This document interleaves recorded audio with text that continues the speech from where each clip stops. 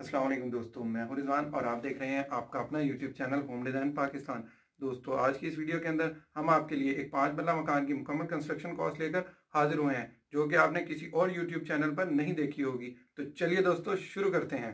ناظرین، اگر ابھی تک آپ نے ہمارے چینل کو سبسکرائب نہیں کیا ہوا، تو جلدی سے کر دیں اور اس بیل آئیکن کو بھی دبا دیں تاکہ آنے والی ہر ویڈیو آپ تک بر وقت پہنچتی رہے۔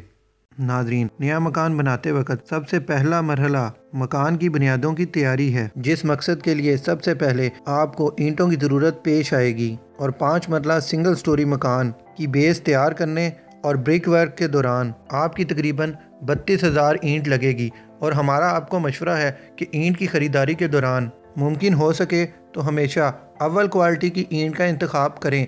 کیونکہ یہ آپ کے مکان کی لائف اور پائیداری دونوں میں اضافہ کرنے کا باعث بنتی ہے۔ ناظرین، دوسرا نمبر آتا ہے سیمنٹ کا۔ تو پانچ مرلہ مکان کی تیاری کے دوران آپ کے تقریباً تین سو پچاس سے تین سو ساٹھ سیمنٹ کے بیگ استعمال ہوں گے۔ تیسرے نمبر پر ہم بات کر لیتے ہیں سینڈ یا ریت کی، جو کہ آپ کی تقریباً گیارہ سو سکوئر فٹ تک استعمال ہوگی۔ ناظرین، چوتھا نمبر آتا ہے بجری کا، جو کہ آپ کی تقریباً آٹھ سو سے آٹھ سو پچاس سکوئر فٹ تک استعمال ہوگی۔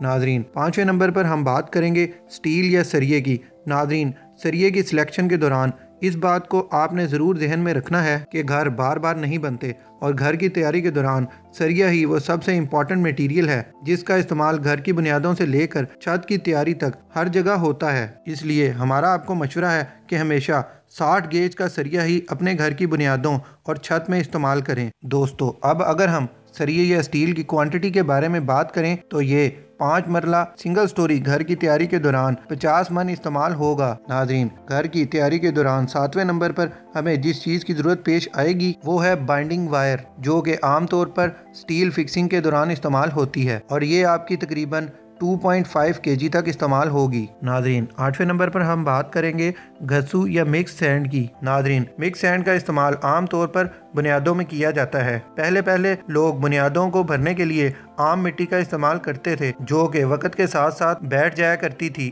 اس لیے آج کل گھر کی بنیادیں تیار کرتے وقت گھسو یا ریت ملی مٹی کا استعمال کیا جاتا ہے، جو کہ مستقبل میں آپ کے فرش اور دیواروں کو بیٹھنے سے محفوظ رکھتی ہے۔ اب اگر ہم بات کریں گھسو کی کوانٹٹی کے بارے میں، تو یہ تقریباً تین ہزار سے تین ہزار پانچ سو سکوئر فٹ تک استعمال ہوگا، جبکہ بنیادوں کی گہرائی میں اضافہ اس کی کوانٹٹی بڑھا سکتا ہے۔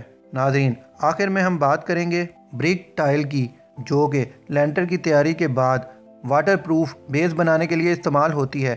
اگر ان کا استعمال نہ کیا جائے، تو نئے لینٹر میں بارش کے پانی اور سورج کی گرمی کی وجہ سے کریکس پڑ جاتے ہیں۔ جس کی وجہ سے لینٹر کی لائف شدید متاثر ہوتی ہے۔ اس لیے ناظرین برک ٹائلز کا لینٹر کے اوپر استعمال نہایت ضروری ہے، کیونکہ یہ برک ٹائلز صرف چھت کی اوپری سطح کی پروٹیکشن کے لیے استعمال ہوتی ہیں۔ اس لیے ان کی کوانٹٹی برکس کے مقابلے میں بہت کم ہوتی ہے۔ آپ کو پانچ مرلہ گھر کی تیاری کے لیے صرف چار ہزار ٹائلز کی ضرورت ہوگی۔ ناظرین، اب اگر ہم مکمل فنیشنگ کے ساتھ پانچ مرلہ گھر کی تیاری کا ایک رف سا تخمینہ لگائیں تو یہ تقریباً چوبیس سے پچیس لاکھ تک بنتا ہے، جبکہ علاقے کے حساب سے یہ کم یا زیادہ بھی ہو سکتا ہے۔ ناظرین، آخر میں اگر آپ کو ہماری یہ کاوش پسند آئی ہے تو اسے فیس بک اور واٹس ایپ گروپس میں شیئر کرنا مت بھولیے گا اور اس ویڈیو کو لائک بھی کر دیجیے گا۔ ہم آپ سے ملیں گے اسی طرح کی کسی اور انفارمیٹیو ویڈیو کے ساتھ۔ اب دیجیے اجازت۔ خدا حافظ۔